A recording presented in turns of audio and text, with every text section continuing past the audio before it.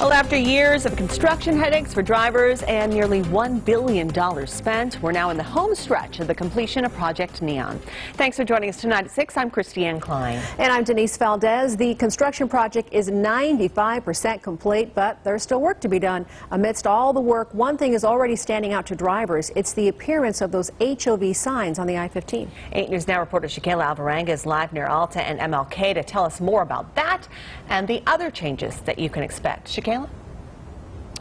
Well, Christiane and Denise, the overall goal of this project is to make your commute to and from work a bit easier.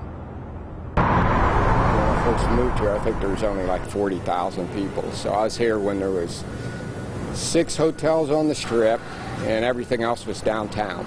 Rick Pasco is one of the many people who has witnessed Las Vegas's big boom. And Vegas has turned into uh, well, I hate to say it, it's sort of like LA now. I mean, it's huge. This is what your commute on I-15 looks like now, but it'll look a lot different next month. These are much needed and long awaited improvements that should greatly improve um, uh, the, the transition and, and traffic flow and, and really safety. Right now, there are two express lanes on I-15. In mid-May, one will be converted into a general purpose lane. The other will become a high occupancy vehicle lane, also known as a carpool lane. It's a huge, multifaceted project that has been 20 years in the making. So it's, uh, it's more than just rehabilitating uh, pavement or anything like that. Uh, we're adding uh, new ramps, new access points. Uh, it's, it's, it's quite the undertaking.